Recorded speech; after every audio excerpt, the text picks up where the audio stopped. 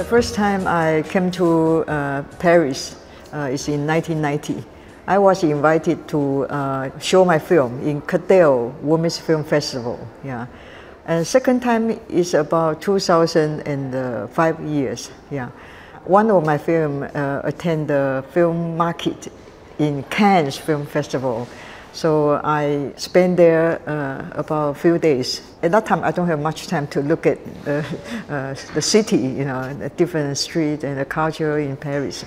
So I'm glad that uh, I bring my film and also come with my colleagues and to join the film festival and to meet the people, the audience uh, here.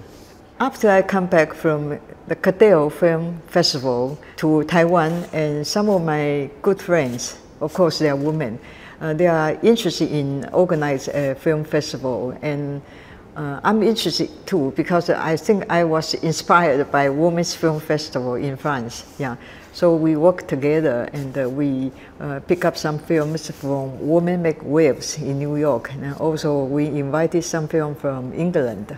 I like to make a film festival, you know, uh, Women Make Waves Film Festival in Taiwan.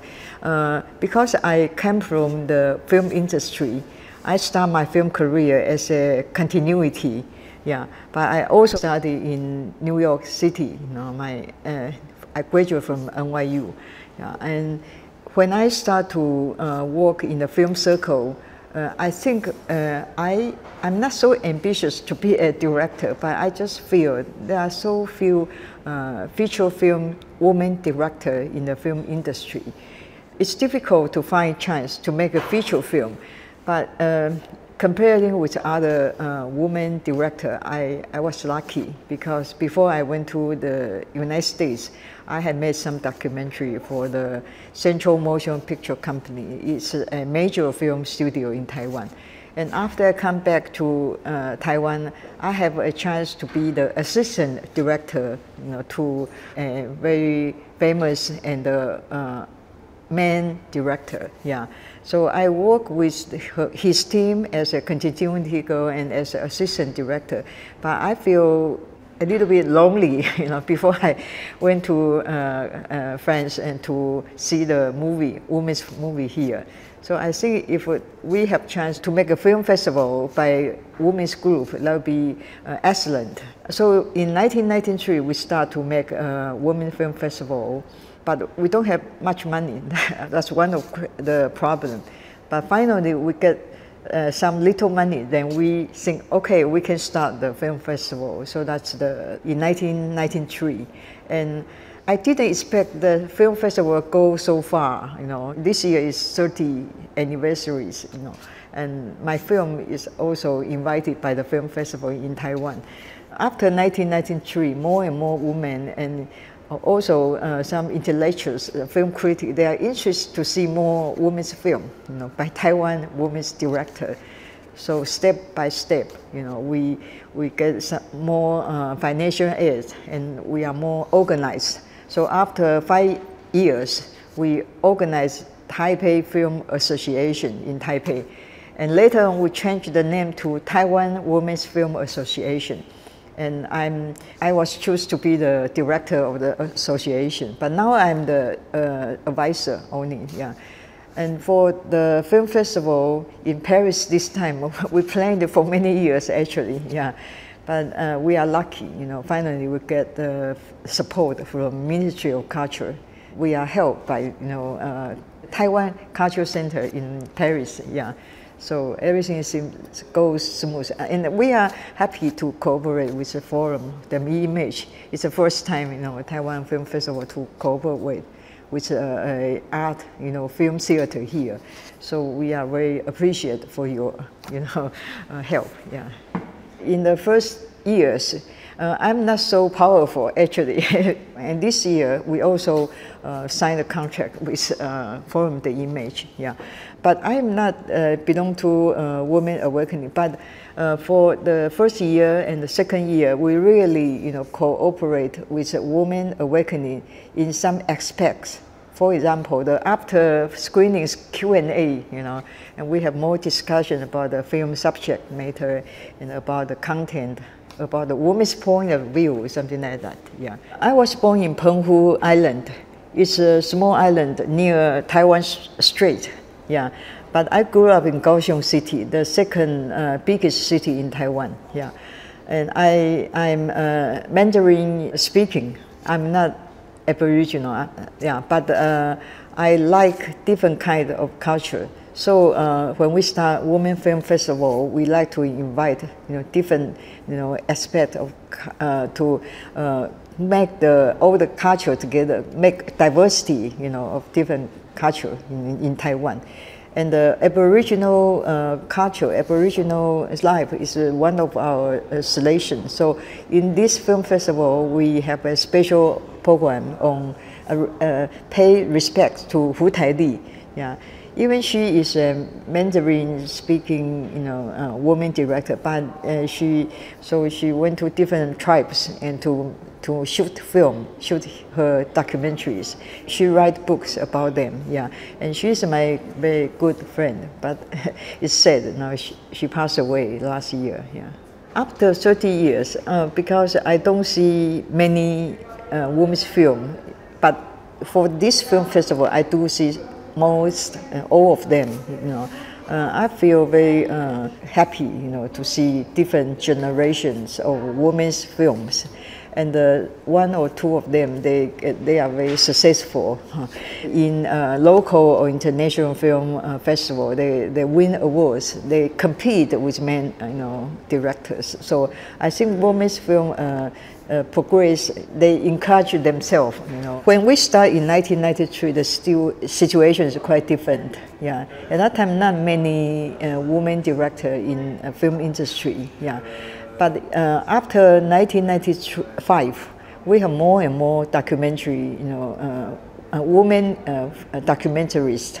But within these 10 years, you know, there are more women directors. They compete with male director in Golden Horse Film Festival or Taipei Film Festival, and they they get an award of, of uh, like uh, best director or best feature film. Yeah, and more and more women uh, director they work for TV series and the, the, the box office is very uh, successful yeah but I think uh, for women's filmmaker we still need to have more uh, resources. Like uh, we don't have a network like a distribution, and most of of a distributor in Taiwan is male, but but they are you know very friendly to women filmmakers. Yeah.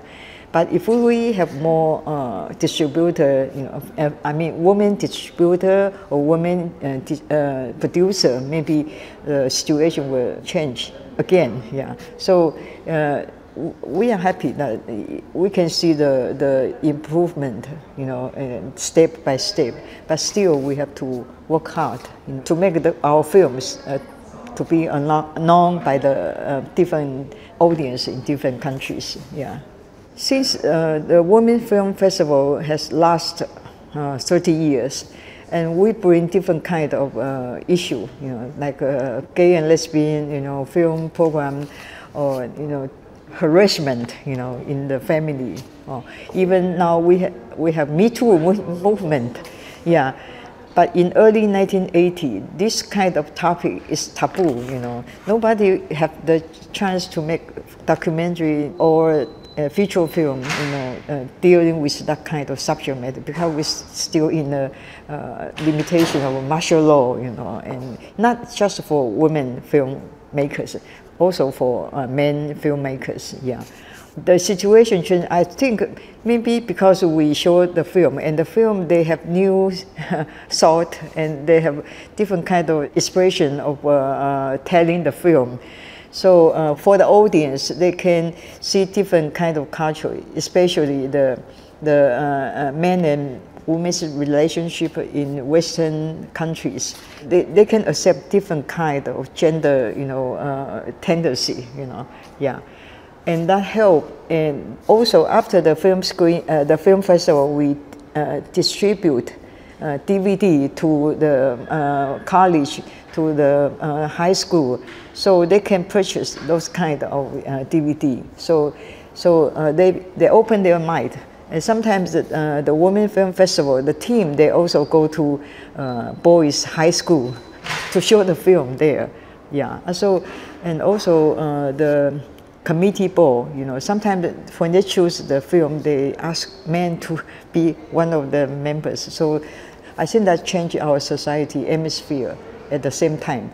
So now we, we are the first country in Asia. We passed the gay or lesbian. They can get married. Yeah, yeah. So and it's uh, permitted by law. Yeah. So uh, Taiwan is the first country in Asia. Yeah.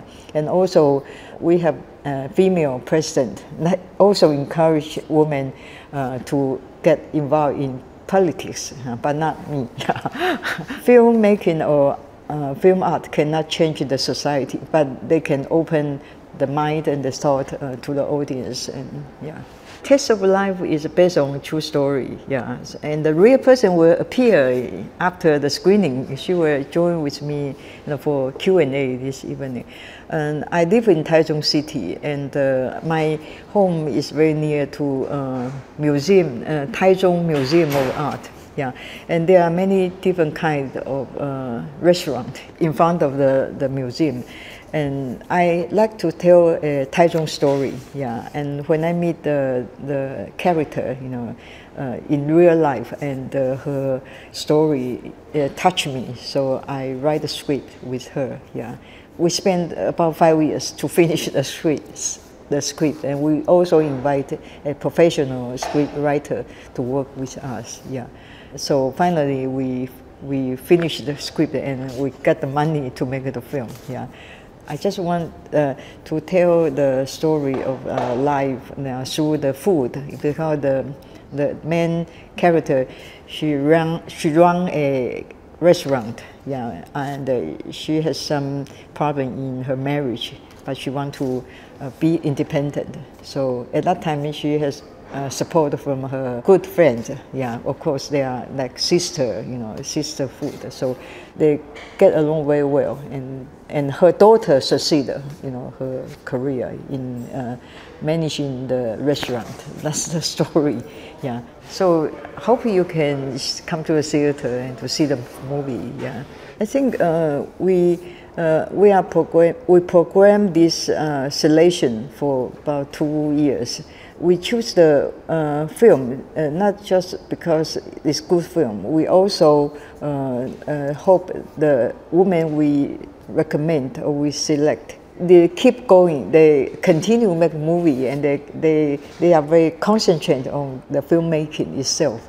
So we like to int introduce uh, their works and also their, their hard working situation to the audience. Yeah, and every every uh, woman director has their own story. Yeah, some of their film dealing with their own kind of uh, biographical film, but I think it's touching. Yeah, for example, Gaga, you know, uh, deal with uh, you know the directors, you know, tribe, uh, her home. Yeah, I think it's very touching, and she is more ambitious to make more film like that.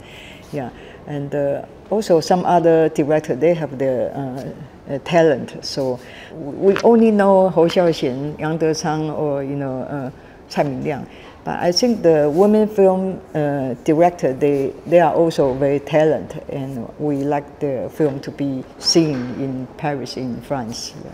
I, I'm very appreciative for the uh, promotion and the publicity and also the cooperate you know, relationship between uh, Forum, the image, and the Taiwan Women Film Festival. Yeah, I think it's very good. You know, uh, beginning. I hope there are more Taiwan film can be introduced in Paris. Yeah, maybe documentary, maybe uh, more films by you know Aboriginal filmmakers. Yeah, we feel it's very good. You know, we see the publicity here uh, doing very well. Yeah, but we also working very hard for Taiwan, you know, publicity now. So we have a website and, and even Chinese, you know, Weixin, they also uh, report this event. Yeah, so we feel uh, it's worthy, you know, for this film festival. And thank you for all your help.